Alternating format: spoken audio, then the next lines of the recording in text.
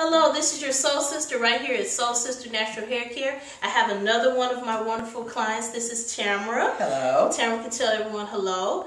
And uh, we wanted to do a video because I, I think my all I've shown you all is locks on my dread clients. I do have clients that just have regular, loose, natural hair like me. So Tamara is one of them. Mr. Chris, if you come in closer, you can see Tamara's two-strand twists. They have they are freshly done, nice and springy and bouncy and uh, and I try to do my sections to where each twist falls over the other so you don't see a lot of parts and stuff. Even though there are parts in there, the way that I section it, it's all covered up. You come around to the front too. Now, Tamara. Yes, ma'am. How long have you been coming to Soul Sister Natural Hair? Oh my gosh, Georgette, has it been five years now? Are we? I'm so sorry. has it been five years, Georgette? Uh, we're, work, we're working on five years because this is before Ike, mm -hmm. before was I coming at you about Katrina, right? We we got, we got to measure about a hurricane. I know. I just said. We're gonna have to come up with a new system. We do. but we, I know. Pre-Ike. Yeah, for a while. It's been at least about five years, and my hair has gotten nothing but more healthy, and just has totally changed the way I look at my hair from okay. the time I have started uh, changing to a natural hairstyle. Okay, and so how? What made you decide to go natural? I'll ask you that question.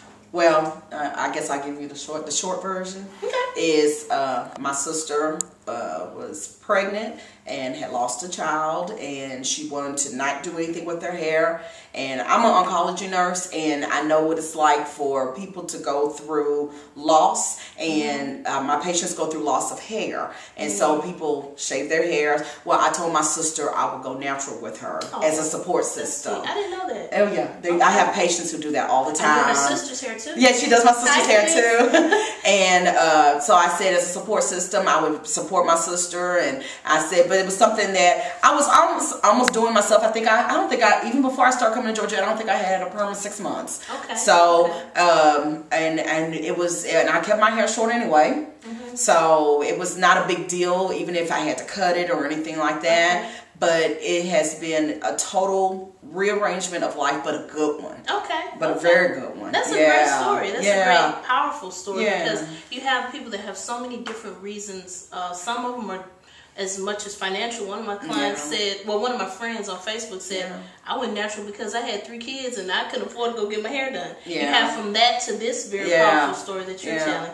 Everybody has their different, you know, rhyme or reason for doing it, but I think everybody should go natural. I but of so course, too. I'm biased. Yes. I'm biased. Yes, yes. But yes, so this is Tamara, one of my wonderful clients, another great soul sister. Uh, soul sister. Yeah. So anyway, everybody, I hope you have. Uh, we're getting ready for the holidays. I hope you have a great holiday. Merry and Christmas. I know. Merry Christmas. Happy, Happy New Year. Happy, Happy Hanukkah. Yeah. Shut up.